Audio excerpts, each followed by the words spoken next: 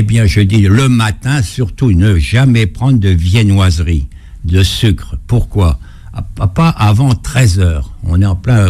Parce que quand vous prenez du sucre, etc., vous supprimez le tryptophane. Le tryptophane, c'est un acide aminé qui va directement au cerveau et qui donne lieu à la sérotonine. Quand vous avez de la sérotonine, c'est le bonheur, la joie de vivre et la satiété, c'est-à-dire vous bouffez plus, il n'y a plus de boulimie, ça vous calme à ce niveau-là. La sérotonine stimule la mélatonine qui va vous faire dormir le soir. Et la mélatonine, elle stimule la leptine qui module votre poids.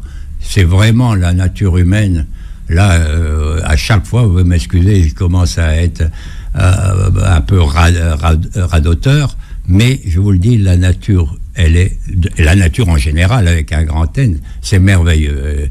Mais l'homme, il vient foutre sa pagaille. Bon, c'est une autre histoire.